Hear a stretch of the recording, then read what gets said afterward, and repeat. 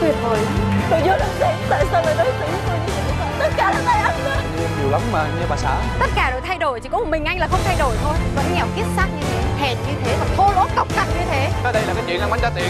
Tôi ăn xong tôi trả đủ mà có nợ gì cô đâu. Anh coi tôi là đồ chơi sao? Thích thì anh tới, không thích thì anh bỏ à? Con trai của mẹ nó bị khùng đó Nó là thằng giết người. Gia đình này không thể một ngày thiếu bằng tay phụ nữ được. Sáng mai tiến lên Sài Gòn rước má Ngọc về đây. Trời Hả?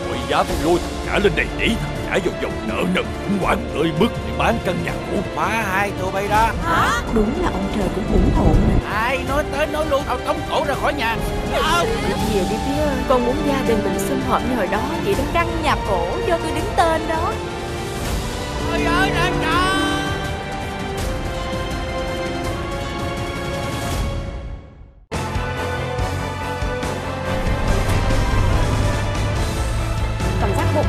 nó tuyệt vời lắm.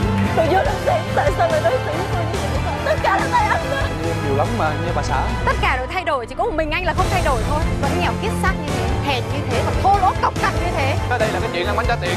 Tôi ăn xong tôi trả đủ mà có nợ gì cô đâu. Anh coi tôi là đồ chơi sao? Thích thì anh tới, không thích thì anh bỏ à? Con trai của mẹ nó bị khùng đó. Nó là thằng giết người.